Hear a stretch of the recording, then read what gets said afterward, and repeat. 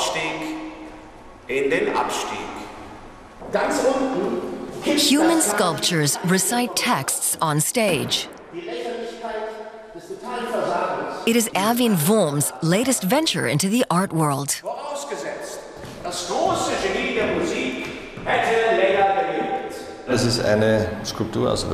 It's a sculpture made of words, sentences revolving and twining around a specific theme. What it's really about is the essential themes of an artist's existence success, lack of success, the flow of ideas. Ideenfluss. Matthias Hartmann participated as director and dramatic advisor. The texts are all by Erwin Wurm, who wrote them on long plane journeys. Erwin Wurm ist ein äh, Wurm is totally theatrical. That's why he interests me. Banalität He connects highly amplified banalities with the most existential questions of art and being human. den existenziellsten Fragen an die Kunst He's a truly äh, radical artist.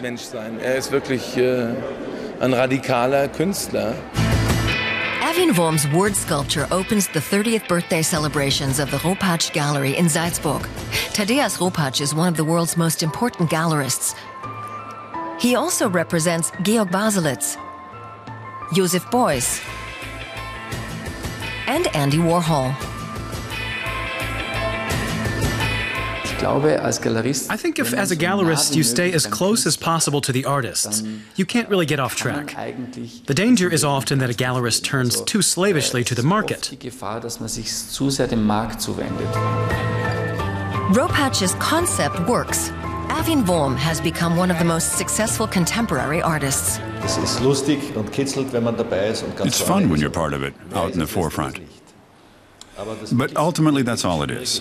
What's really difficult is to formulate an artistic work, to form it, and then to take it further and maintain the fascination. That's the real challenge. Das ist die wahre And you do it with yourself at home in your studio.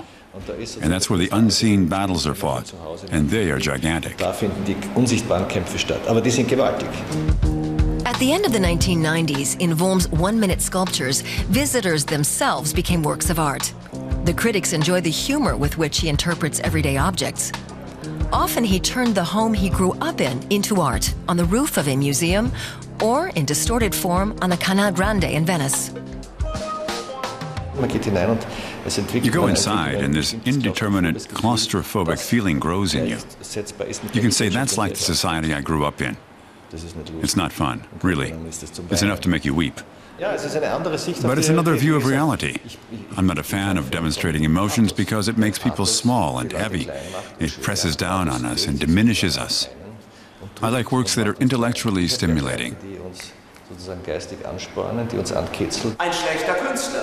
Was auch heißt, But performing a word sculpture in front of a critical audience is new for Erwin Wurm. I was very nervous. I've never experienced anything like it before. Exhibitions are usually relaxed, and I know how they work. Und da weiß ich, wie es geht. The word sculpture confronts the audience, including many collectors and contemporary artists, with harsh criticism of the art business. I didn't really feel like I was being reviled as a collector. I think it was really about how an artist feels about himself in today's art world. I was pleasantly surprised. It showed a great wealth of imagination. I